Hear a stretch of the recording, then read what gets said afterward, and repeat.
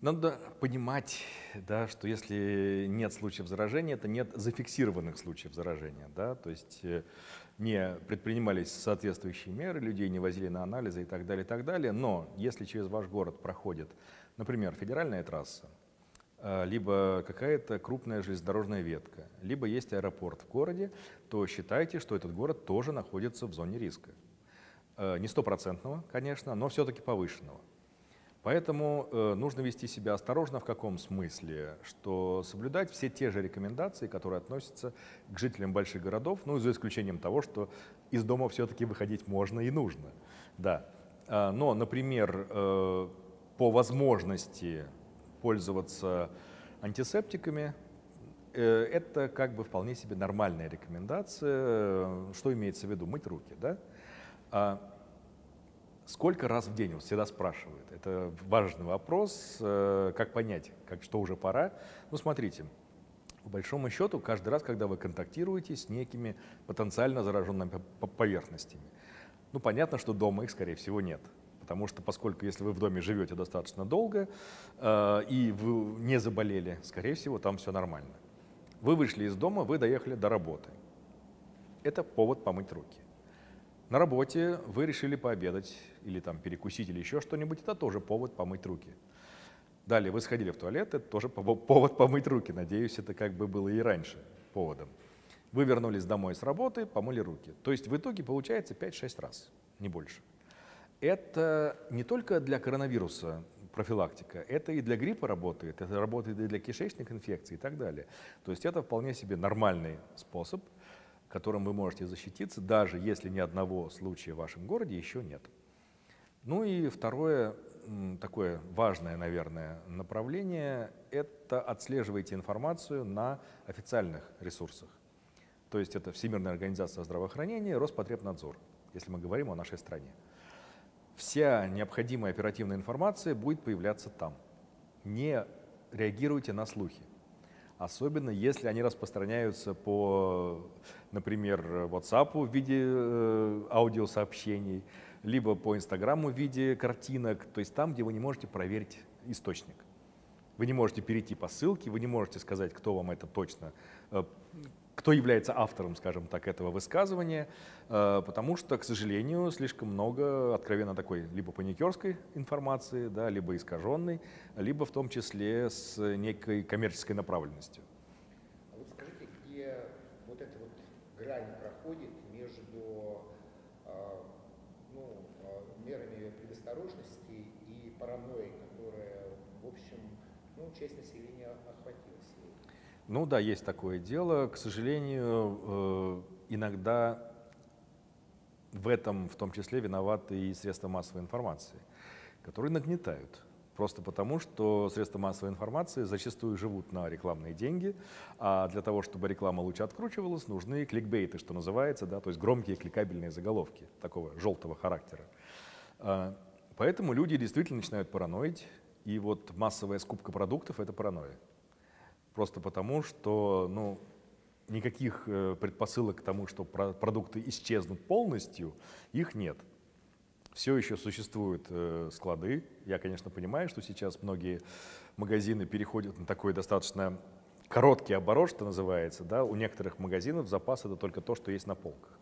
Но все-таки есть крупные сети, есть крупные гипермаркеты, есть крупные какие-то, в том числе стратегически ориентированные компании, до сих пор все еще не существуют. Поэтому да, большие запасы продуктов в стране все-таки имеются. Да, это, конечно, будет э, не шик, это будут не креветки в панцире и так далее, но как, какой-то простейший набор продуктов обеспечить смогут в любом случае. Это первое. А второе, э, непонятная скупка туалетной бумаги. Это тоже паранойя чистой воды. Ну, просто потому, что, извините, в крайнем случае есть вода, да, то есть пока есть вода, никаких проблем с гигиеной не существует. Э, и если смотреть эм, именно с медицинской точки зрения, да, то есть какие профилактические мероприятия могут оказаться параноидальными, это постоянно обрабатывать руки.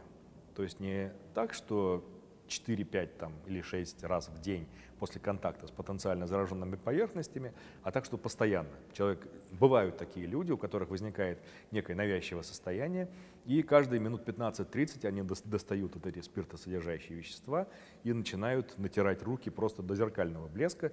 К сожалению, иногда это приводит к дерматитам, кожа начинает быстро сохнуть, трескаться, и вот потрескавшаяся кожа это как раз у нас получается дополнительный фактор риска для очень многих заболеваний. Не для коронавируса, конечно, в первую очередь, но для бактериальных инфекций, для всего остального, то есть возникают такие некие э, ну, переборы, скажем так. То есть это явный перебор. Человек вместо одного заболевания потенциального, да, то есть потенциально вирусного, получает кучу бактериальных проблем, например, с кожей.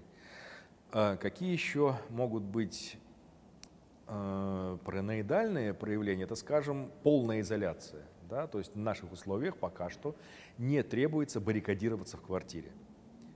То есть из квартиры можно выходить. Другое дело, что не нужно ходить по местам массового скопления людей, то есть не нужно ехать в гипермаркет, не нужно идти в поликлинику, например, не нужно э, идти на какие-то тусовки, концерты и прочее, прочее, ну, благо они сейчас отменены, но все-таки. Э, если вы вышли прогуляться в какой-нибудь лесок или парк, там, где немного людей, и там, где вы можете поддерживать эту социальную дистанцию в полтора-два метра, это оправданно, это нормально, это хорошо.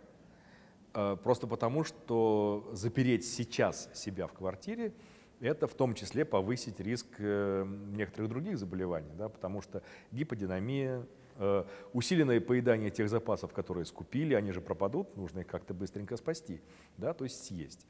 Это будет приводить к увеличению массы тела, в том числе к набору, да, и это не самое благоприятное условие для нашего здоровья. Нам нужно двигаться, нам нужен свежий воздух, нам нужно проветривать квартиру. Да? То есть не просто так, мы вышли и оставили квартиру проветриваемой. Это тоже обязательно, потому что застаивание воздуха – это один из факторов риска очень многих болезней. Не только этого коронавируса, повторюсь.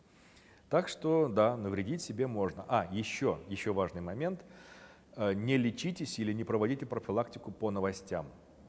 Потому что сейчас будут много писать о том, что изобрели лекарства – и оно вот такое, и будут его конкретно называть. Либо изобрели стопроцентную профилактику, которая работает именно против этого коронавируса, и будут ее конкретно называть. Это не означает, что нужно немедленно бежать в аптеку и это покупать. Нет. Это в лучшем случае, да, действительно было некое исследование клиническое, скажем, на небольшом количестве людей, там 30, 40, 50 и так далее, и некоторой части этих людей такое лечение помогло. Но остальное это не помогло, во-первых.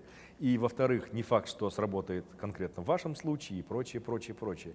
Не нужно пытаться есть какие-то таблетки, э, не нужно пытаться пользоваться какими-то непроверенными домашними рецептами, потому что сейчас даже появляются, вплоть до того, что сварите у себя вот это вот зелье, например, и вы сможете им защититься и так далее.